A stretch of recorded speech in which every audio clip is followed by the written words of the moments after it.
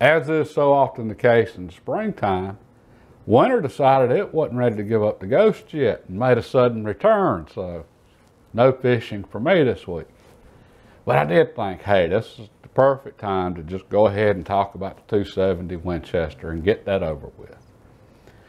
And I say get it over with because truthfully, I've been dreading talking about this cartridge. I mean, this is a cartridge that everybody either absolutely loves it or they absolutely hate it, and they just ain't much in between on this cartridge. So no matter what I say, I'm going to upset somebody. but I might be the best person to talk about this cartridge because at one time I was one of the ones that absolutely hated it. And when I say I hated a 270, you could have offered me a brand new rifle of my choice and a lifetime supply of ammunition with the only condition being it had to be chambered in 270. And I'd have politely said, no thank you. You can keep it. that was my opinion of a 270 for a lot of years. But since then, I've learned a lot about cartridges, bullets, shot placement, and all that good stuff. And now I am a big fan of the 270. I think it's one of the greatest cartridges ever devised for hunting. But it took me a long time to get to this place. So yeah, I might be the person to talk about the 270. But before we get too deep into this, I want to share something with y'all that I think is going to help clear up a lot of the mysteries and issues surrounding the 270 cartridge. I've talked about bullets in depth before. Matter of fact, I might even been a little overkill on it, but uh, you really need to understand bullets impact and what's going on in order to understand the 270. So real quick, bullets 101 and what's happening for hunting bullets.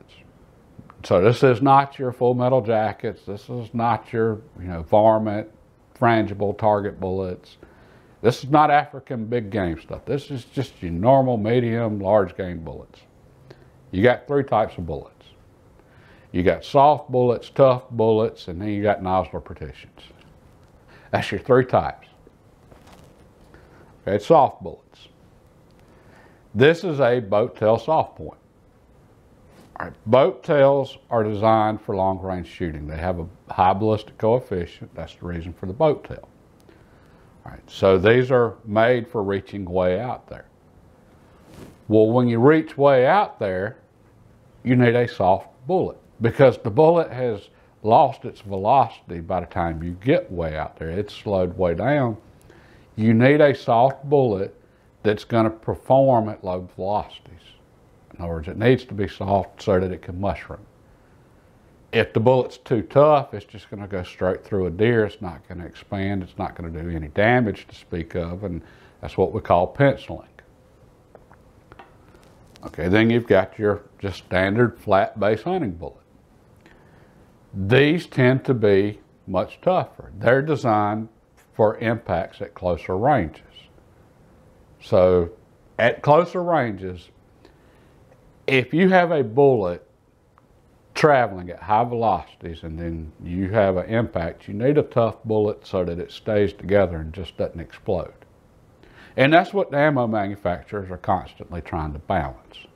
And it's a tough job. I mean, it's, you know, in the case of the 270, from, you know, 3,100 plus feet per second to, you know, 2,000 feet per second, way out there at distance, that's a huge range in velocity. So you got to have a bullet soft enough to expand at low velocities way out there, but tough enough so that it's not going to, you know, just blow up at close ranges.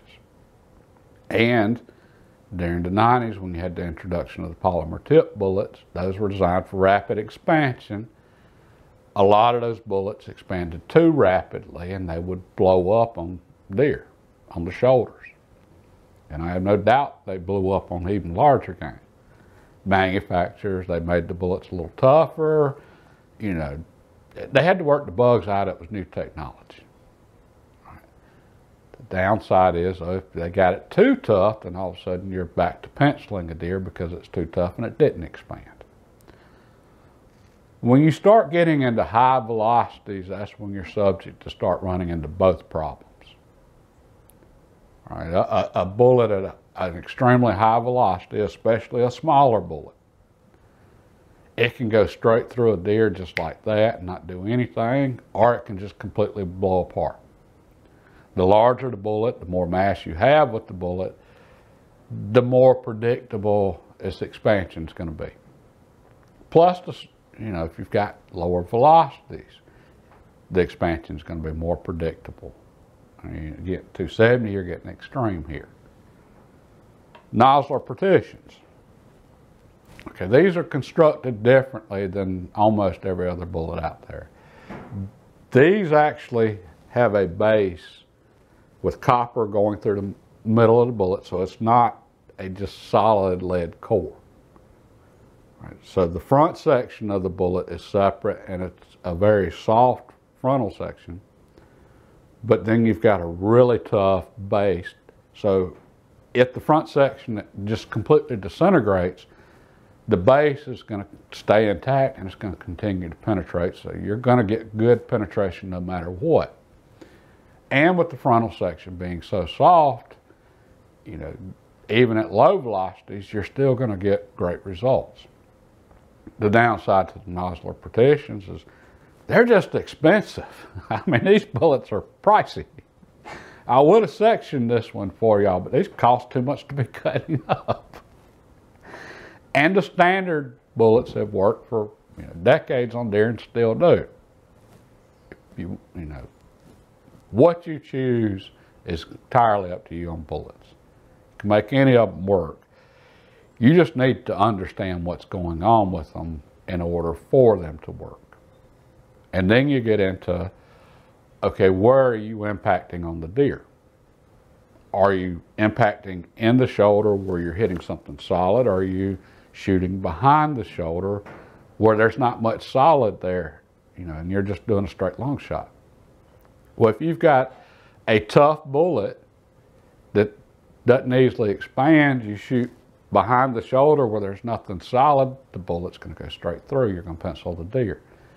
If you've got a really soft bullet that just rapidly expands and all of a sudden this extremely high velocities and you hit a solid shoulder, you got, you know, muscle, bone, and everything else, that's when you're subject to have the bullets blow up.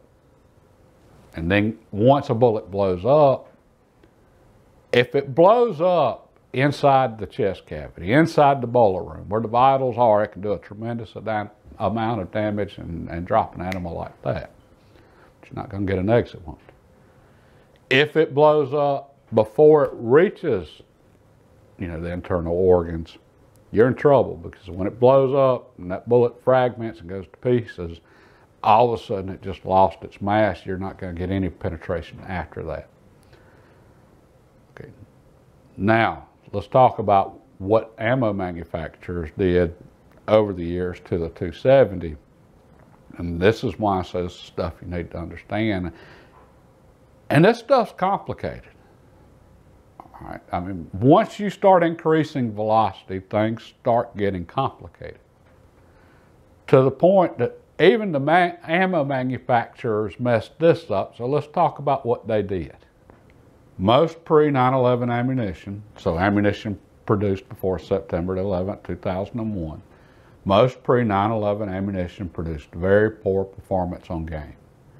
The combination of low muzzle velocities, non-aerodynamic bullet designs, and the trend towards 22-inch barrels all took a toll on performance. At close ranges, this ammunition performed adequately.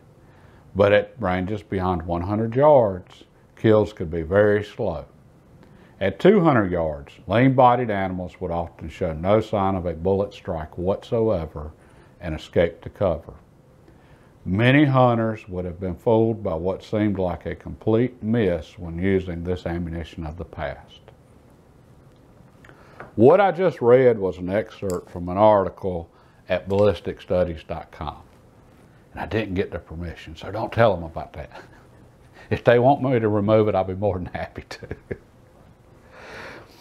Right, that site though, and I'm going to leave a link below to the entire article in the description section.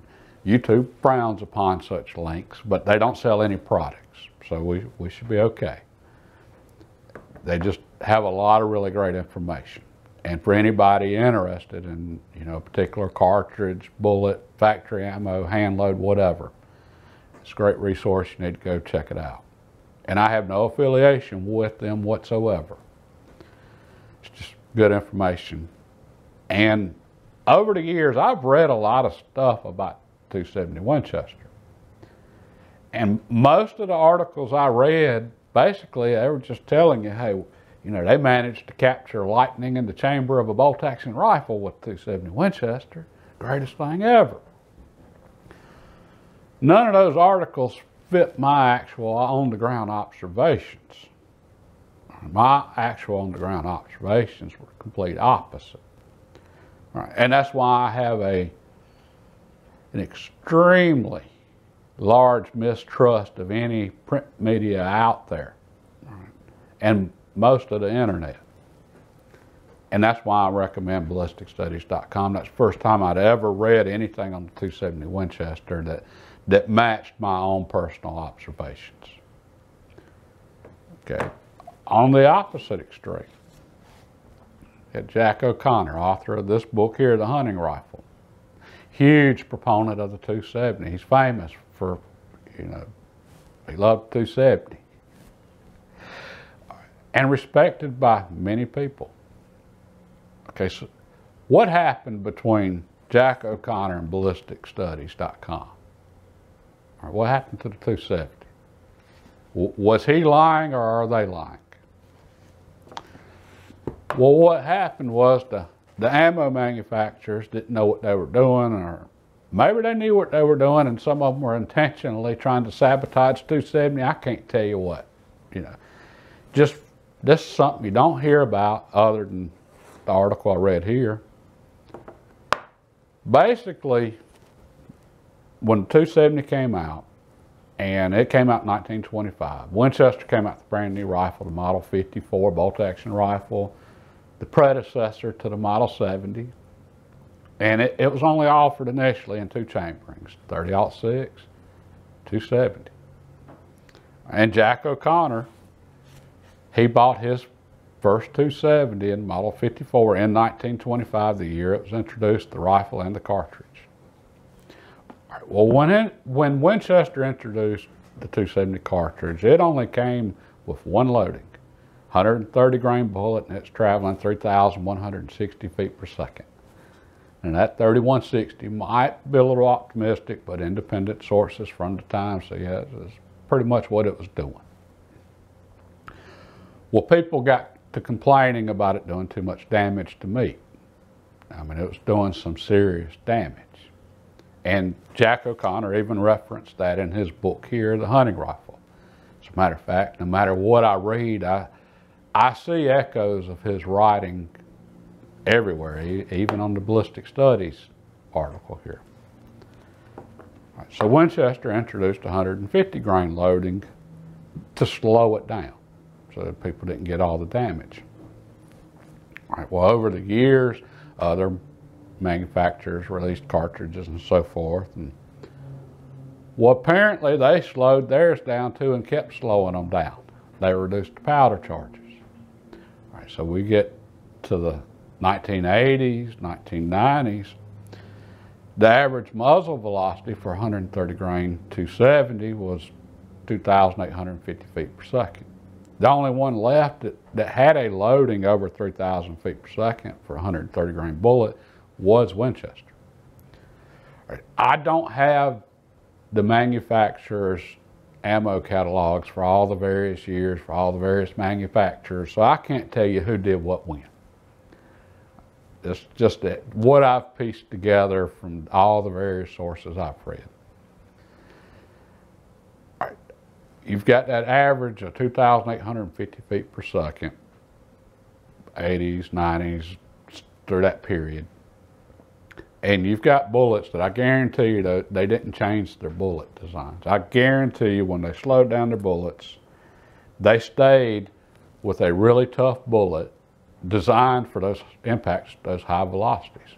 And Jack O'Connor himself, he mentioned that the 130 grain bullet that Winchester offered the 270M was a tough bullet. It had to be to handle those impact velocities. You get into the 80s and 90s, that they're still running that same tough bullet because I can't imagine them doing a whole lot of research during that time to make sure they got something right because they were bad about not getting stuff right a lot. Yeah, we're going to talk about Sub Mauser and 257 Roberts later on, but still mad at them over those cartridges. But all right, so they're still running a really tough bullet, but now all of a sudden it's a lot lower velocities. You're penciling deer.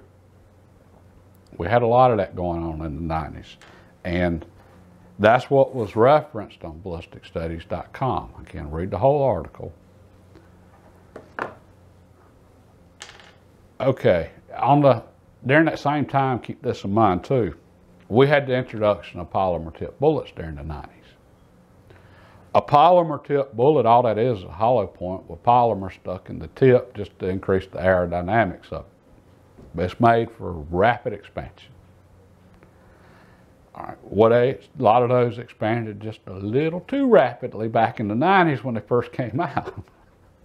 So you shoot one deer, bam, it just drops in its tracks, you know, extensive damage. You shoot the next deer and it's, it's off to the races because that bullet just blew up on its shoulder. So we had a lot of stuff going on then with 270 in particular. And the 270 being such a high velocity and such a small bullet, it was, you know, that's where you were going to see you know, bad decisions from the ammo manufacturers, from the bullet designers. That if they didn't get something right, it was going to show up on a small bullet traveling at high velocity. Right. So that's why we saw so many problems with the 270 back then. It didn't have anything to do with the 270. It was the ammo manufacturers and bullet manufacturers and stuff they were putting out. And I'm going to blame more than anything the writers back at the time. I don't know if they were just there trying to sell ammo, bullets, or whatever, but um, we're just going to say they did a really poor job, and this was stuff we had to figure out on their on our own. Right, we didn't have the internet then, so again, this is I have a huge mistrust of media, anything gun hunting related. I don't trust it. And it comes from that time period. Okay, we also have the issue of bullet placement on animals. I talked extensively about this in the 243 video, but basically, shoot behind the shoulder, you're in soft tissue, shoot in the shoulder, you're in hard tissue. Well, that's important stuff. And, and Jack O'Connor, in this book here, he wrote extensively about shot placement behind the shoulder or in the shoulder, which just really surprised me after all these years. We're still talking about this. He favored behind the shoulder, and he was shooting a rapidly expanding bullet. He favored a hollow point. Or he mentioned it here, but he's also written extensively about using the Nosler partition. Okay, so with the partition, he had a bullet to perform. I don't care where you hit the animal, you're getting penetration, and I don't care what velocity you hit the animal, you know, you're going to get expansion. Plus the bullet's not going to completely disintegrate. You throw in all the other bullets we're using, you could run into all sorts of issues. Okay, that, that's what the 270 and, and the reason I wanted to get into all that because we can learn from this with other cartridges too. Other cartridges are not immune to these problems. I shot a deer on the power line one time with 30 6 shot it behind the shoulder, and the deer took off. And I'm sitting there and I'm feeling good. Okay, I, I got a deer because I knew it was a good shot and I knew the deer wasn't going for it. I'm sitting there, yeah, I got a deer on the ground up there. A few minutes later, another deer steps out in the exact same spot.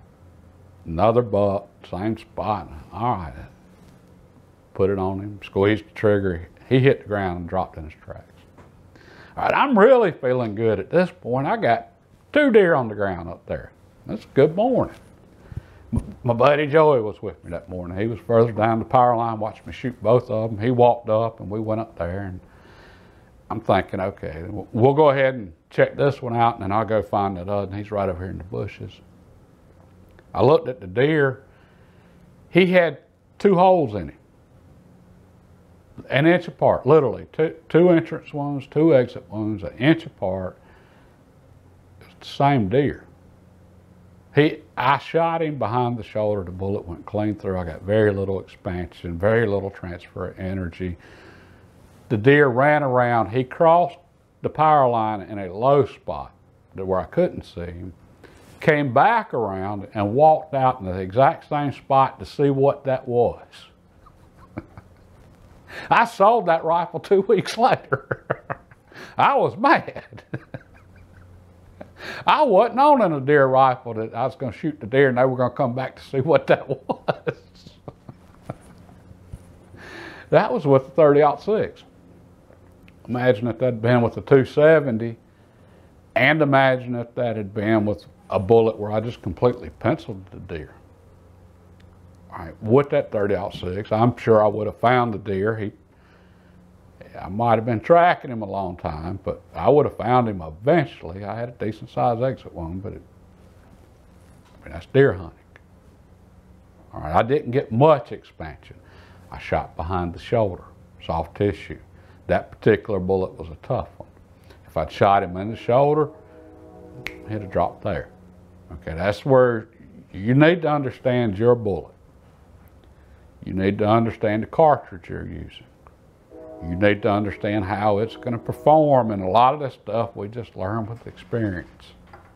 I said that ballisticstudies.com that that was the first time I ever read what actually matched my own observations of the 270 and other cartridges. Well, that's not entirely true.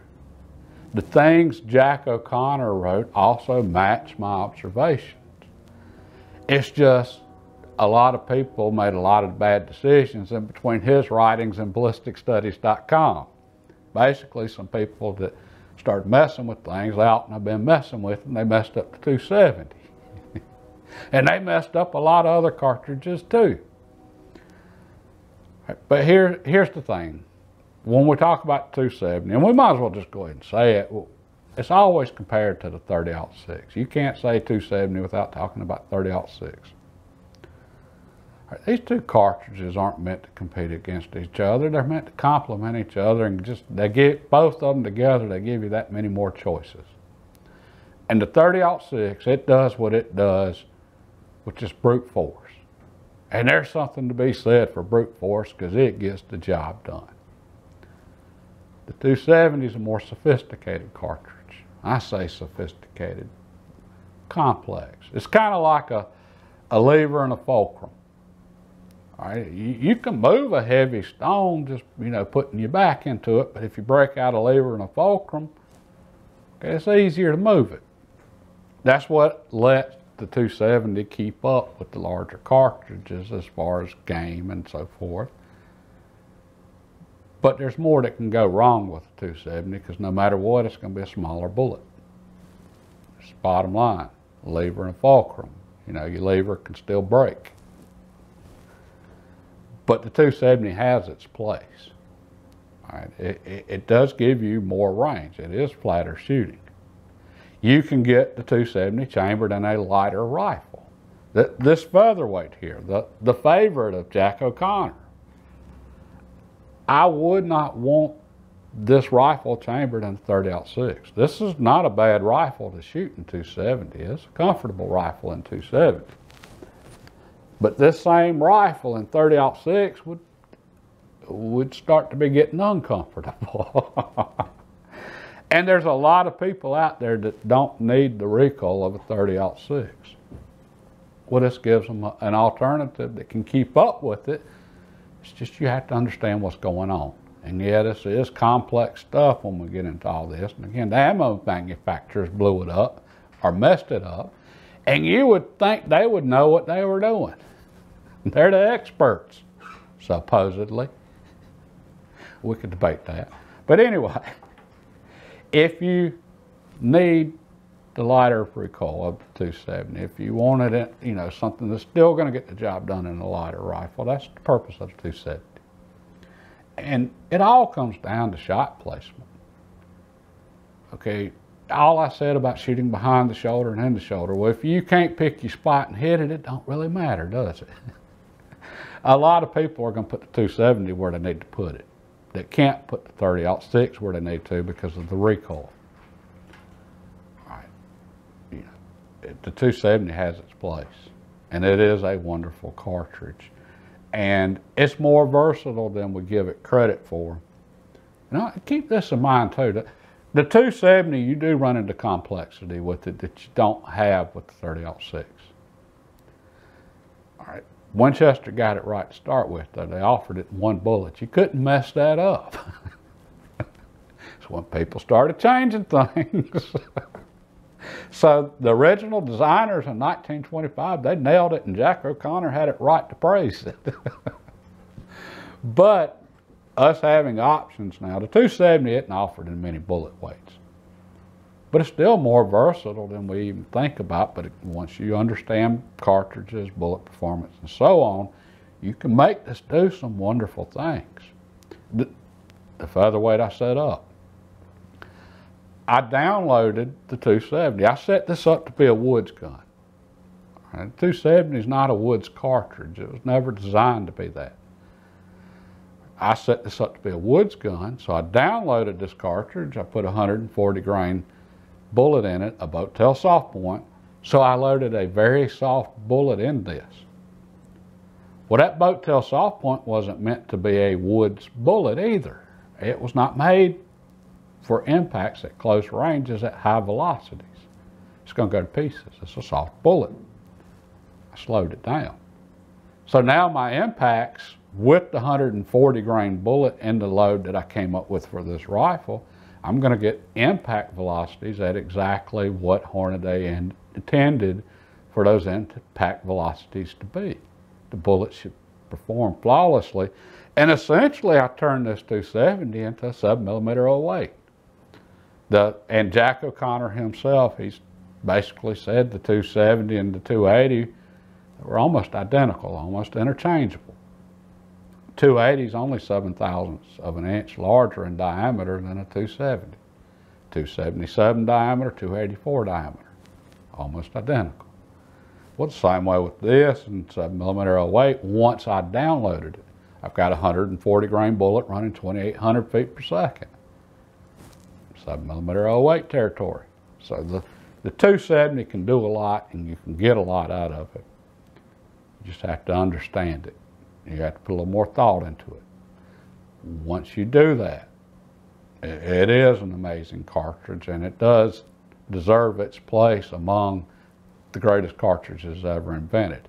And for some people, depending on you, the individual, this could be the best hunting cartridge ever for you. So, yeah, it's a great cartridge, and I, I started out as a hater of the 270 and I have become an admirer of it. Well, that was a video I didn't think I'd ever be making. but hey, you know, we learn as we go and times change. Right, if you enjoyed this at all, please hit the thumbs up button. Let YouTube know you enjoyed it. It helps out the video, helps out the channel.